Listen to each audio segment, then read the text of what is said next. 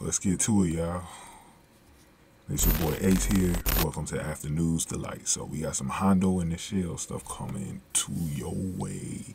So basically, in this episode, um, uh, Nichelle pretty much has been sleeping over at you know Hondo's house for a while now. So it's not no secret that they you know that they're together. All this other booba, you know, but what's really been uh, eating at Hondo is that I think he wants to go all the way with Nichelle. Like he knows that this is the one for him, and he doesn't want her to go. But Nichelle's been having her doubts, and she got some bad news that she would not be having a baby now.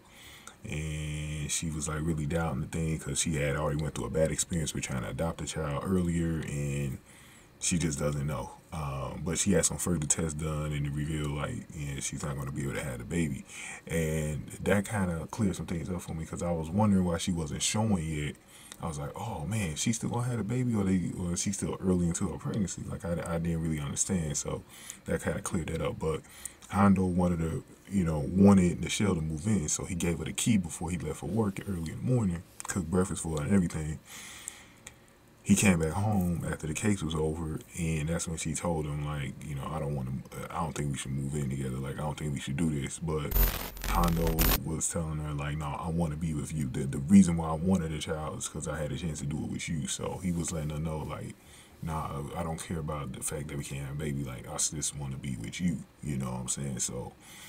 Uh, I think that probably made Nichelle like realize like you know Hondo ain't playing and Hondo really cares about her. So I thought it was a lovely scene. Uh, I think this is probably where I think Hondo and Nichelle now know that there's nothing that's going to stop them now, you know. And um, I don't know if she's still going to take them up on moving in, but, you know, she probably is, you know, in due time. Because, I mean, she's been sleeping over there like all the time now, so it makes sense for her to move in, so.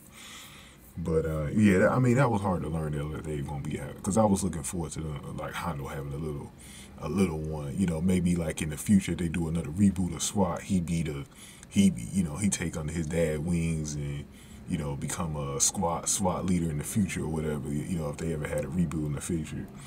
So I don't know. I, I don't know. I had already thought about that. Like.